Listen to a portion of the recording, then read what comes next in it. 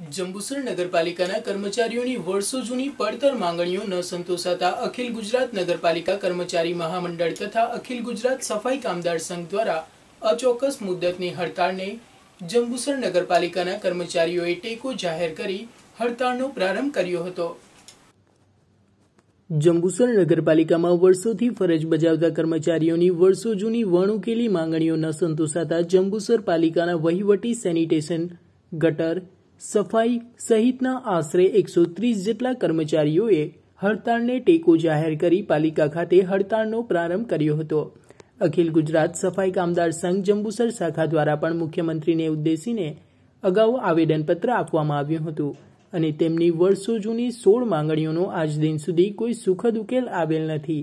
તેમની વર્ષોની પડતર માંગણીઓની રાજ્ય સરકાર દ્વારા નિયુક્ત કરેલ કમિટી સમક્ષ પડતર માંગણીઓનું દિન દસમાં નિરાકરણ લાવવા માંગ કરી હતી.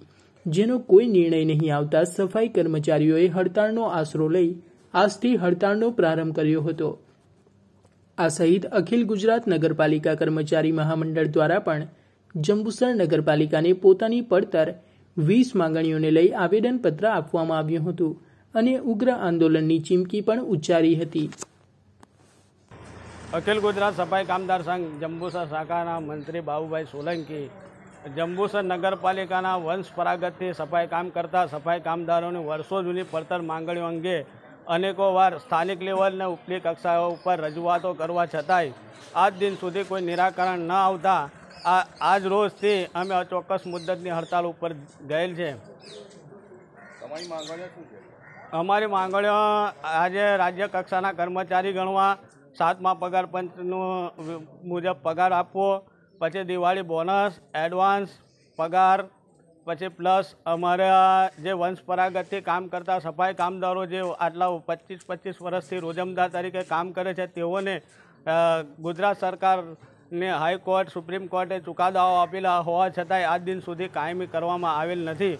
અને બીજા વિભાગોની અંદર જ્યારે કામ કરતા કર્મચારીઓને સમાવવામાં આવતા હોય તો રાજ્ય સરકારની સ્ટેટ કમિટી બનાવવામાં આવેલી હોય એ સ્ટેટ કમિટીની અંદર અમારા પ્રશ્નોનું નિરાકરણ માટે અળગળ રાખવામાં આવતા નહીં. અમારે નિરાકરણ કરવામાં આવેલ ના હોય.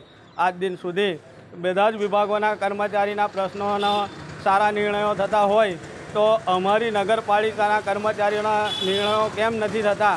એ બાબતે અમે વારંવાર સરકારશ્રીને ઉચ્ચ કક્ષાએ રજૂઆતો કરવા છતાંય આજ દિન સુધી નિરાકરણ ના આવતા અમે હડતાલનો આશરો લેવો પડ્યો છે.